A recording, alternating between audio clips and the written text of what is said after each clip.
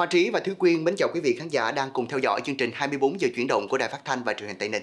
Thưa quý vị, như 24 giờ chuyển động đã đưa tin, ông Nguyễn Thành Tài, nguyên phó chủ tịch thành phố Hồ Chí Minh và bốn đồng phạm bị xét xử liên quan việc giao đất cho thuê đất tại số 8, 12 Lê Duẩn, phường Bến Nghé, quận 1 thành phố Hồ Chí Minh gây thất thoát gần 2.000 tỷ đồng.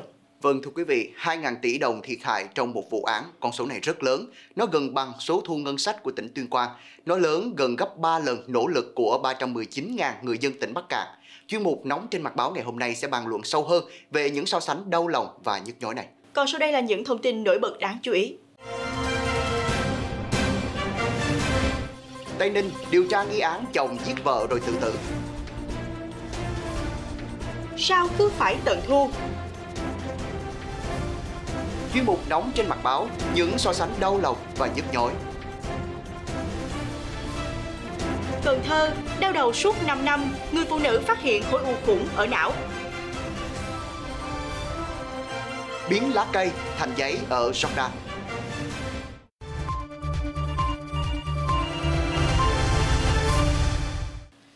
Vị, liên quan đến vụ việc vợ chồng xảy ra mâu thuẫn dẫn đến một người tử vong, một người bị thương, ngày 14 tháng 9, Công an huyện Tân Châu, tỉnh Tây Ninh phối hợp với các đơn vị nghiệp vụ điều tra nghi án chồng giết vợ rồi tự tử. Khoảng 6 giờ 30 phút ngày 14 tháng 9, chị Lê Thị Mỹ Duyên sinh năm 1999 cùng em ruột Mai Vương Quang sinh năm 2007 về nhà mẹ ruột là Mai Thị Thúy Chung sinh năm 1979 ngụ ấp Tân Thanh, xã Tân Phú, kêu cửa nhưng không có ai trả lời nên mở khóa cửa đi vào. Khi vào đến phòng ngủ, chị Duyên thấy Nguyễn Anh Tuấn sinh năm 1978 là chồng sâu của chị Chung nằm đè trên người chị Chung ở trên giường. Tuấn bị thương ở tay trái, chảy nhiều máu, còn chị Chung thì đã tử vong. Trong phòng có mùi thuốc trừ sâu nên đã báo công an xã Tân Phú. Nhận được tin báo, công an xã Tân Phú nhanh chóng triển khai lực lượng đến bảo vệ hiện trường và đưa Nguyễn Anh Tuấn đi cấp cứu. Qua điều tra ban đầu, giữa Tuấn và chị Chung thời gian gần đây có xảy ra mâu thuẫn về chuyện tiền bạc. Trước khi xảy ra vụ án, hàng xóm có nghe họ cãi nhau. Tuấn đã sát hại chị Chung, sau đó dùng dao cắt vào tay và uống thuốc trừ sâu để tự tử. Hiện vụ việc đang được cơ quan công an tiếp tục điều tra làm rõ. Chiều ngày 14 tháng 9, tại phiên xét xử sơ thẩm Tòa án Nhân dân thành phố Đà Nẵng đã tuyên phạt bị cáo Trương Tiến Thành, 46 tuổi, ngụ tại quận Sơn Trà, thành phố Đà Nẵng, 6 năm tù về tội giết người. Theo cáo trạng, sáng ngày 23 tháng 11 năm 2019, Thành mang gà đá đến quán cà phê số 10 Đỗ Hành, quận Sơn Trà và dùng kéo tỉa lông gà. Anh Lương Công Trung, 53 tuổi, ngụ quận Sơn Trà, nhắc nhở Thành tỉa lông gà mất vệ sinh, thì Thành trả lời rằng chủ quán không ý kiến nên anh Trung không có quyền nói. Cả hai mâu thuẫn, anh Trung ném lọ muối trên bàn vào người Thành và xong đến tác vào mặt Thành. Thành đứng dậy cầm kéo đâm trúng ngực phải anh Trung. Mọi người can ngăn và đưa anh Trung đi cấp cứu trong tình trạng thủng phổi, thương tích 22%. Ngày 14 tháng 9, Tòa án Nhân dân tỉnh An Giang đã mở phiên tòa lưu động tại xã Khánh An, huyện An Phú, xét xử sơ thẩm vụ án tổ chức cho người khác xuất nhập cảnh trái phép. Hai bị cáo là Nguyễn Hoài Phương sinh năm 1985, ngụ thị trấn Long Bình, huyện An Phú, tỉnh An Giang, bị tuyên phạt 7 năm tù và Salim sinh năm 1983, ngụ xã Khánh Bình, huyện An Phú, tỉnh An Giang, bị tuyên phạt 3 năm tù, buộc hai bị cáo phải nộp lại hơn 26 triệu đồng thu lợi bất chính. Theo cáo trạng, khoảng tháng 7 năm 2020, Nguyễn Hoài Phương bắt đầu đứng ra tổ chức đưa người xuất cảnh nhập cảnh trái phép qua biên giới Việt Nam-Campuchia. Mỗi một khách qua lại biên giới trót lọt, Phương lấy 2 triệu đồng tiền công và trả cho Salim 500.000 đồng tiền công cho khách. Với một số đối tượng có hành vi giúp sức, cơ quan an ninh điều tra công an tỉnh An Giang đang tiếp tục điều tra, xác minh làm rõ và xử lý sau. Thưa quý vị, mới đây hình ảnh phiếu thu tiền ghế ngồi học sinh có dấu mộc của trường trung học cơ sở Bình Chánh ở thành phố Hồ Chí Minh được lan truyền trên mạng xã hội khiến dư luận xôn xao. Liên quan đến vụ việc này, sáng ngày 14 tháng 9, ông Nguyễn Trí Dũng, trưởng phòng giáo dục đào tạo huyện Bình Chánh thành phố Hồ Chí Minh cho biết đã yêu cầu trường trung học cơ sở Bình Chánh tạm dừng thu tiền ghế ngồi học sinh và trả lại số tiền đã thu. Theo ông Nguyễn Trí Dũng, sự việc xảy ra vào ngày 18 tháng 7 Ông Dũng cho biết tôi nắm được sự việc và chỉ đạo dừng ngay tại thời điểm trường bắt đầu thu. Đây là số tiền ghế nhựa ngồi chào cờ cho học sinh lớp 6, đóng cho 4 năm học. Tiền này do đại diện hội phụ huynh đề xuất, nhưng khi thu thì có phiếu thu, văn thư lấy dấu mộc của nhà trường, đóng vào chứ không phải chủ trương của trường. Hiện nay trường đã trả lại 100% cho phụ huynh với hơn 400 trường hợp học sinh đã đóng. Cũng theo ông Dũng, hiệu trưởng trường trung học cơ sở Bình Chánh đã làm giải trình, báo cáo và phòng giáo dục đào tạo đã kiểm điểm. Đại diện hội phụ huynh cũng đã báo cáo sự việc. Ông Dũng nói thêm, riêng việc thu tiền đầu năm, dù là thu hộ, chi hộ, phòng triển khai trường chưa được thu. Bởi đến thời điểm này, huyện chưa ban hành hướng dẫn thu tiền đầu năm, đang chờ huyện ra công văn hướng dẫn thu. Vâng thưa quý vị, ngoài những háo hức, hồi hộp khi bước vào năm học mới, hiện nay nhiều phụ huynh phải toát mồ hôi khi nhìn những khoản phí phải đóng vào đầu năm. Và trước khoản thu tiền ghế ngồi học sinh của trường trung học cơ sở Bình Chánh, nhiều phụ huynh bức xúc cho rằng nhà trường đã làm thu, đến chỗ ngồi cũng phải thu tiền. Tuy nhiên cũng có nhiều người cho rằng khoản thu này xuất phát từ nhu cầu của phụ huynh do hội phụ huynh đề xuất, nhưng khi thu thì có phiếu thu văn thư lấy dấu mộc của trường đóng vào.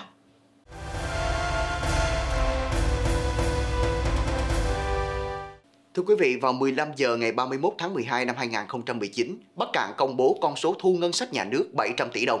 Nhưng số tiền mà 319.000 người dân trong tỉnh nỗ lực trong 365 ngày ấy bằng chỉ 1 phần 3 số tiền thất thoát 2.000 tỷ đồng gây ra từ một cá nhân. Và cá nhân ấy là nguyên Phó Chủ tịch thành phố Hồ Chí Minh Nguyễn Thành Tài. Đây cũng là câu chuyện thu hút sự quan tâm của dư luận những ngày qua. Bị tác động bởi quan hệ tình cảm cá nhân từ Lê Thị Thanh Thúy, nguyên Phó Chủ tịch thành phố Hồ Chí Minh, Nguyễn Thanh Tài đã ký hàng loạt văn bản sai quy định biến khu đất 812 Lê Duẩn từ sở hữu nhà nước thành sở hữu tư nhân một cách trái pháp luật và thiệt hại bởi những chữ ký ấy gây ra thất thoát đến 2.000 tỷ đồng. Cáo buộc của cơ quan tư pháp đối với ông Tài, người vào ngày 16 tháng 9 sẽ lại phải đứng trước vành móng ngựa. 2.000 tỷ đồng thiệt hại trong một vụ án, còn số này rất lớn. Nó gần bằng số thu ngân sách của tỉnh Tuyên Quang. Nó lớn gần gấp 3 lần nỗ lực của 319.000 người dân tỉnh Bắc Cạn. Và trong tương quan so sánh này, chúng ta hoàn toàn có thể hiểu và cảm thông được sự căm giận của người dân đối với tội phạm tham nhũng. Chúng ta hoàn toàn có thể hiểu được niềm tin của nhân dân đối với công cuộc đốt lò. Nhưng những con số trong báo cáo phòng chống tham nhũng của chính phủ vẫn là những con số dây dứt vi phạm về kinh tế 64.551 tỷ đồng, 7.077 hecta đất, chuyển cơ quan điều tra xử lý hình sự 124 vụ, 118 đối tượng. Ngay trong việc thực hiện các chế độ định mức tiêu chuẩn thôi cũng đã phát hiện tới 335 vụ việc, 467 cán bộ vi phạm, tăng 37,7% số vụ và 74,7% số người vi phạm so với năm 2019 lợi dụng của công biến đất công thành đất ông dưới danh nghĩa liên doanh liên kết. Những vi phạm ấy như một sự việc lặp đi lặp lại, sợ đâu sai đó, đâu cũng thấy sai. Một mặt vừa thể hiện sự quyết liệt của cuộc chiến phòng chống tham nhũng, nhưng mặt khác cũng thể hiện những kẽ hở chúng ta đã nhìn thấy nhưng chưa thật sự ngăn chặn được.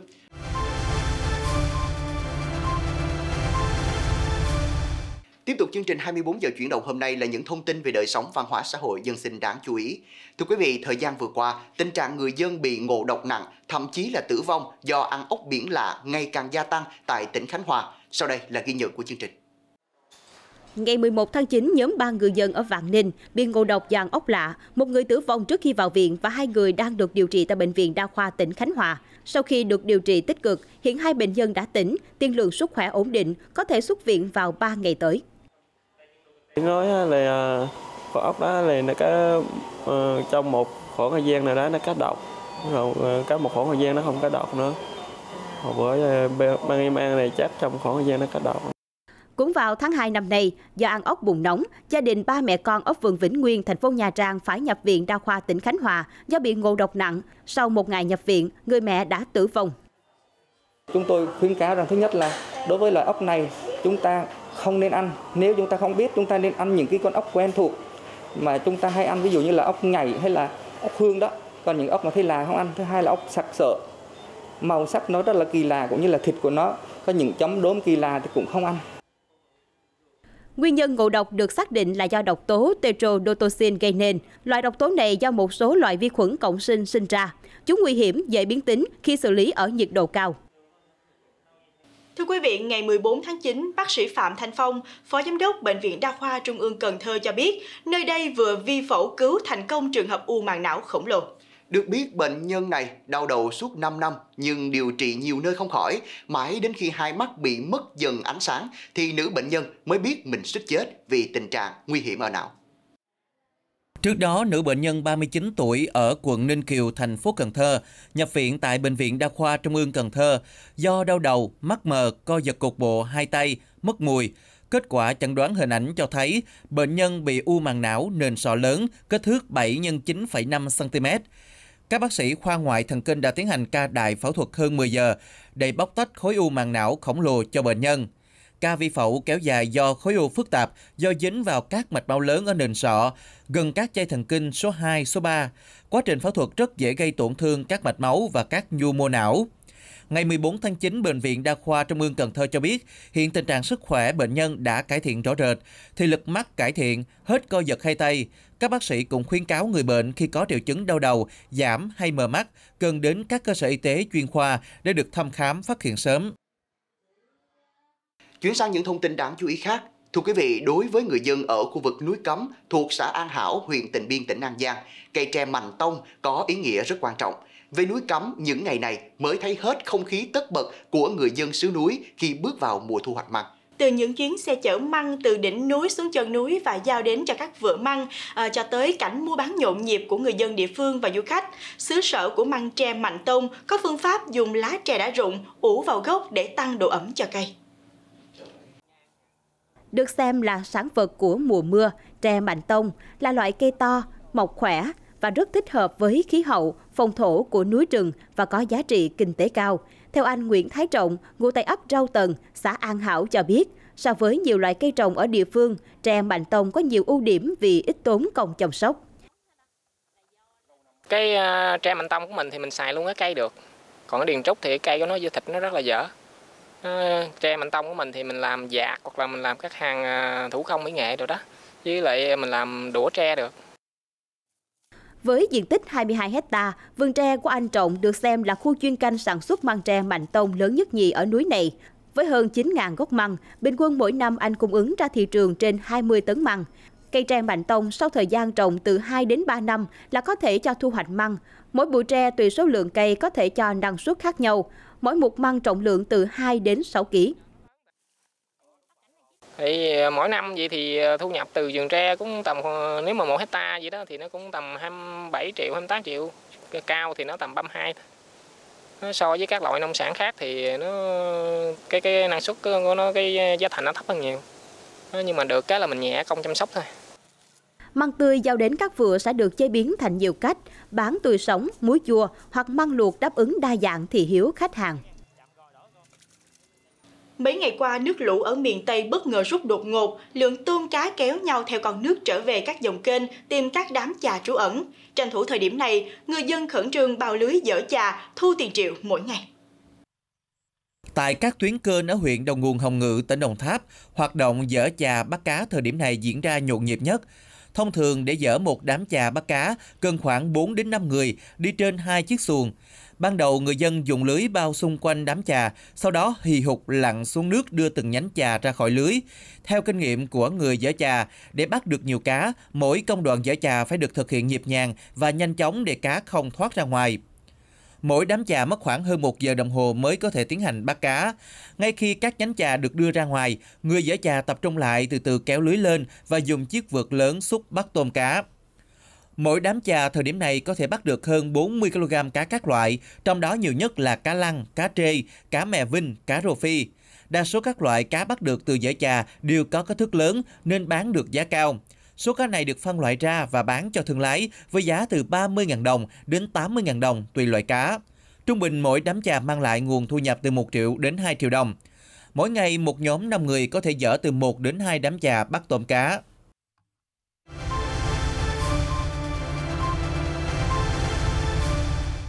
Và bây giờ là tin tức quốc tế gây chú ý. Thưa quý vị, các nhà khảo cổ đã phát hiện một nghĩa địa voi mút khổng lồ tại một địa điểm nằm trong sân bay đang xây dựng của thủ đô Mexico City, Mexico và đã khai quật một khối lượng lớn bộ xương của loài động vật đã tuyệt chủng này.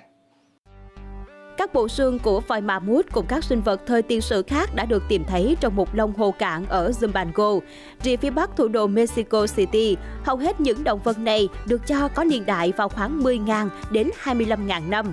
Các chuyên gia tin rằng những con voi mammoth đã tới khu vực này để tìm thức ăn và nước uống.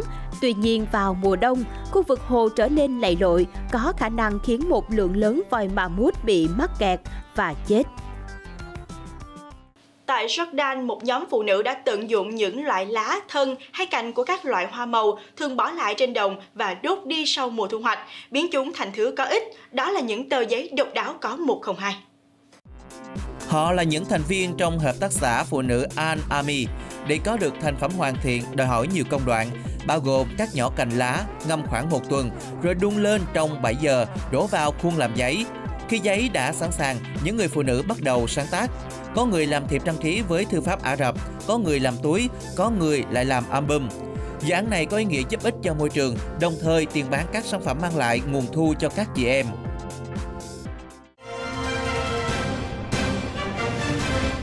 Liên tục chương trình chuyên mục cà phê không đường xung quanh việc chuyển sát hạch lái xe cho công an.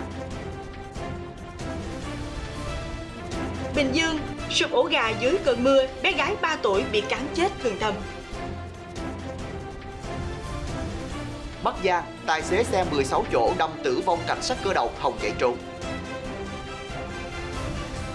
Chuyên mục chuyện ngày mới, phòng dịch bệnh với mô hình 5 cộng 1.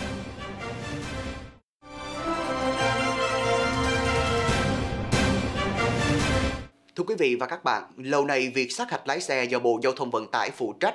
Tuy nhiên, chính phủ vừa có tờ trình dự án luật bảo đảm trật tự an toàn giao thông đường bộ, trong đó thống nhất để Bộ Công an sát hạch cấp giấy phép lái xe. Quy định này nhằm đảm bảo tính đồng bộ, đặc biệt là làm chuyển biến tình hình về trật tự an toàn giao thông vốn là một vấn nạn suốt nhiều năm qua.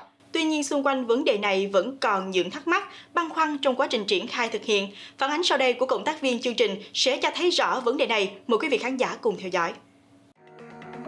Trung bình mỗi năm tai nạn giao thông cướp đi sinh mạng của gần 10.000 người, trong đó chủ yếu là lực lượng đang trong độ tuổi lao động. Chỉ tính riêng từ đầu năm đến nay, cả nước đã xảy ra 15 vụ tai nạn giao thông đặc biệt nghiêm trọng và trong số này có đến 6 vụ là các phương tiện đâm va trực tiếp với nhau. Từ thực tế các vụ tai nạn, Cục Cảnh sát Giao thông cho biết có đến 90% các vụ tai nạn là do người tham gia giao thông yếu về kỹ năng, kiến thức và ý thức chấp hành.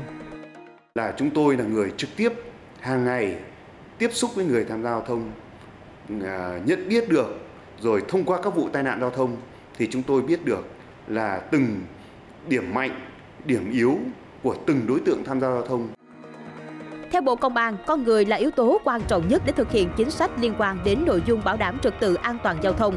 Và đây là nội dung quan trọng được đề cập trong dự thảo luật đảm bảo trật tự an toàn giao thông đường bộ do đơn vị này chủ trì soạn thảo.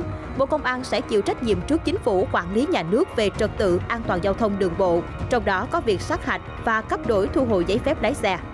Bộ Công an chủ trì chúng tôi sẽ giả soát lại và sẽ theo một chuẩn mực quốc tế và phù hợp với điều kiện giao thông ở Việt Nam. Nhất là những cái đối tượng đang là một là đối tượng gây tai nạn chính, hai là nguyên nhân gây tai nạn thì chúng tôi có cơ sở dữ liệu từ tai nạn, từ xử phạt. Là những lái xe không đảm bảo điều kiện sức khỏe, lái xe nghiện rượu, lái xe nghiện à, heroin và các chất kích thích, chúng ta cần phải xử lý ngay. Và cái này rõ ràng là Bộ Công an sẽ làm tốt hơn. Theo luật sư Nguyễn Thế Truyền, việc chuyển sát hạch và cấp giấy phép lái xe cho Bộ Công an phần nào đó sẽ tăng được tính hiệu quả, đồng bộ xuyên suốt trong lĩnh vực giao thông đường bộ. Tuy nhiên vẫn còn những băn khoăn về lĩnh vực chuyên môn, nhất là các yếu tố về kỹ thuật. Ở đây vấn đề chính là gì? Dạy để đào tạo ra một lái xe, còn phải dạy cả về kỹ thuật, về sửa chữa, hiểu về các kỹ thuật làm đường. Ra làm sao? Khi vào cua với tốc độ cao tốc độ bao nhiêu tại sao phải giảm tốc? Thì có lẽ bộ giao thông vận tải đang chiếm ưu thế. Họ có kiến thức chuyên sâu hơn. Còn bên công an thì rõ ràng đây là một lực lượng về an ninh. Vấn đề đào tạo sát hạch và cấp giấy phép lái xe từng thuộc sự quản lý của ngành công an. Tuy nhiên sau đó nó được chuyển cho ngành giao thông vận tải quản lý và đến nay thì ngành công an lại đề xuất quản lý lĩnh vực này. Dù là ngành nào quản lý thì việc quan trọng nhất vẫn là chất lượng đào tạo, kỹ năng của người điều khiển phương tiện phương án đào tạo sát hạch và cấp giấy phép lái xe theo quy định mới được thông qua sẽ làm phát sinh nhiều vấn đề phải giải quyết. Trước mắt là việc bố trí lực lượng lớn, những người làm công tác sát hạch đào tạo của ngành giao thông vận tải, cũng như giải bài toán về công tác xã hội hóa trong lĩnh vực này.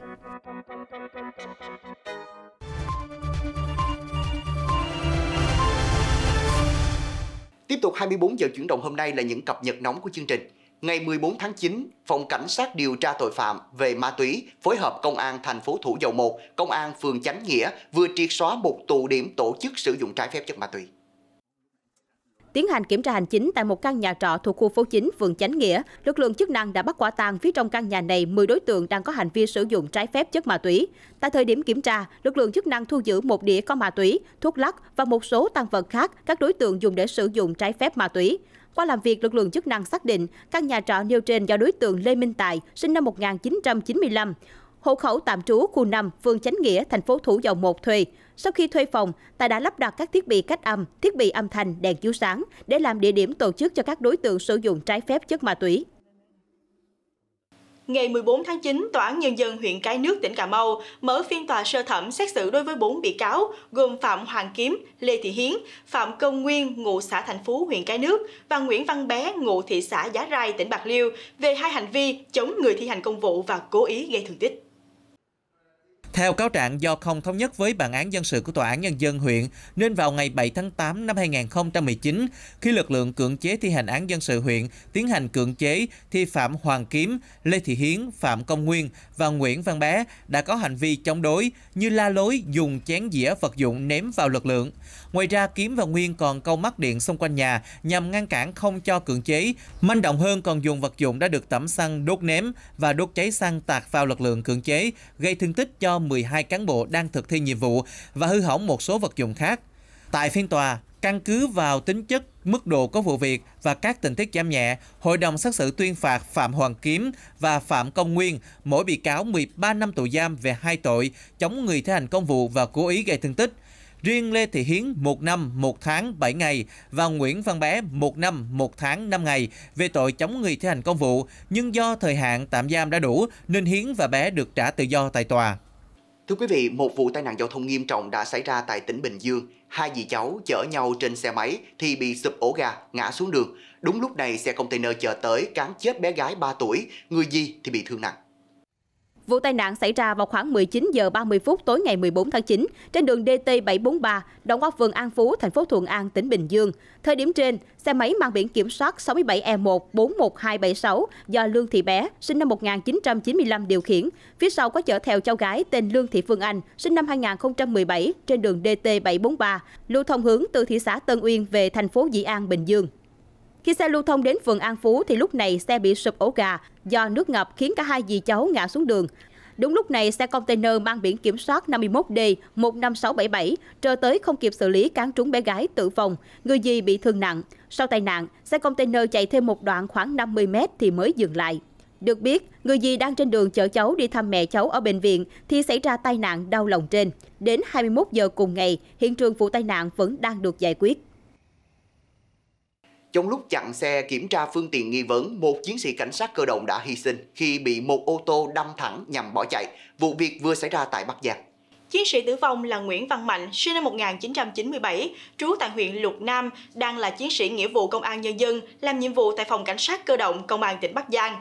Trước đó khoảng 17 giờ chiều ngày 14 tháng 9, tại khu vực đường cao tốc Hà Nội Bắc Giang, đoạn qua khu vực ngã tư Tử Thần, huyện Yên Dũng, tỉnh Bắc Giang, Phòng Cảnh sát phòng chống tội phạm về kinh tế, chức vụ Công an tỉnh Bắc Giang đang cùng Phòng Cảnh sát giao thông Công an tỉnh Bắc Giang phối hợp dừng xe kiểm tra ô tô 16 chỗ, biển kiểm soát 29B 50164 có biểu hiện vận chuyển hàng cấm trên đường cao tốc Hà Nội Bắc Giang. Tuy nhiên, đối tượng trên xe đã chống đối, tăng ga bỏ chạy, khiến một chiến sĩ của phòng cảnh sát cơ động đang tăng cường cho tổ công tác của phòng cảnh sát giao thông hy sinh. Lực lượng công an tỉnh Bắc Giang đã tổ chức truy bắt, hiện đã bắt được hai đối tượng, trong đó Trần Văn Dũng, sinh năm 1989, trú tại Hà Nội là lái xe và Dương Đức Tuyển, sinh năm 1998, trú tại huyện Tân Yên, tỉnh Bắc Giang là chủ xe, cùng phương tiện là xe ô tô khách mang biển kiểm soát 29B 50164 và toàn bộ hàng hóa vi phạm trên xe. Giám đốc Công an tỉnh Bắc Giang chỉ đạo điều tra làm rõ xử lý nghiêm theo quy định của pháp luật và thực hiện chế độ chính sách đối với trung sĩ Nguyễn Văn Mạnh.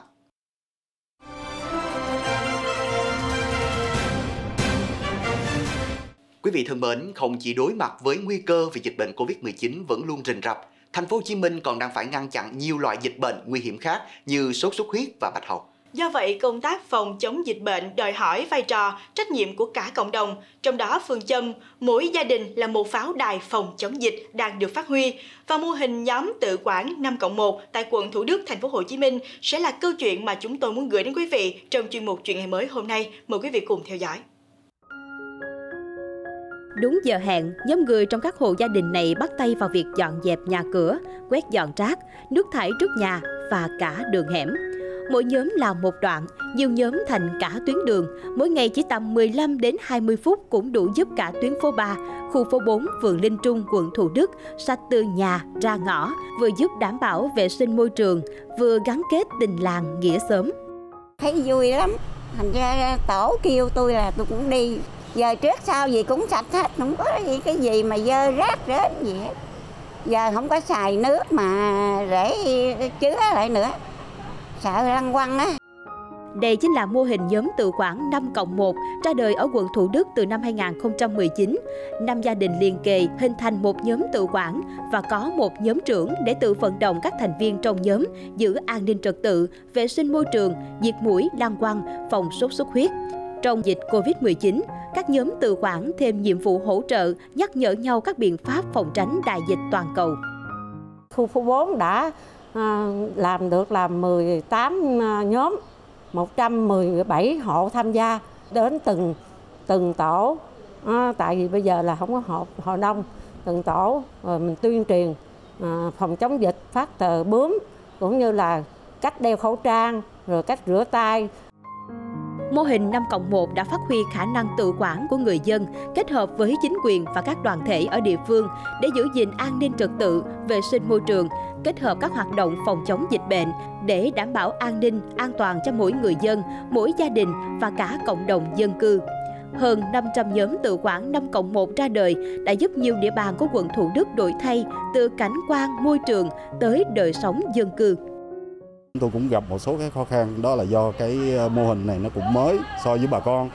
Rồi phải vận động bà con đó vận động luôn cả cái uh, người để đứng ra làm cái nhóm trưởng. Đối với uh, cái mô hình này thì à, cái yếu tố quan trọng nhất á, là à, cái sự gắn kết giữa các thành viên. Thì không riêng gì là thực hiện cái à, về cái bảo vệ môi trường à, mà còn thực hiện trong cái công tác tuyên truyền vận động các hộ dân thực hiện công tác phòng chống dịch như hiện nay mô hình 5 cộng 1 đang phát huy hiệu quả đúng theo phương châm mỗi gia đình là một pháo đài phòng chống dịch. Từ quận Thủ Đức, mô hình này được Ủy ban nhân dân thành phố Hồ Chí Minh đề nghị nhân rộng ra cả 24 quận huyện bởi những nhóm 5 cộng 1 không chỉ giúp lan tỏa tinh thần phòng chống dịch mà còn góp phần xây dựng một thành phố Hồ Chí Minh văn minh, hiện đại, nghĩa tình. Và đến đây thì thời lượng dành cho chương trình 24 giờ chuyển động xin phép được khép lại. Cảm ơn quý vị và các bạn đã quan tâm theo dõi và đồng hành cùng chương trình. Chương trình sẽ được phát sóng vào lúc 6 giờ, 18 giờ và 22 giờ mỗi ngày. Đồng thời quý vị cũng có thể xem lại chương trình 24 giờ chuyển động trên kênh YouTube chính thức của Đài Phát thanh và Truyền hình Tây Ninh. Còn bây giờ Thúy Quyên và Hoàng Trí xin kính chào và hẹn gặp lại.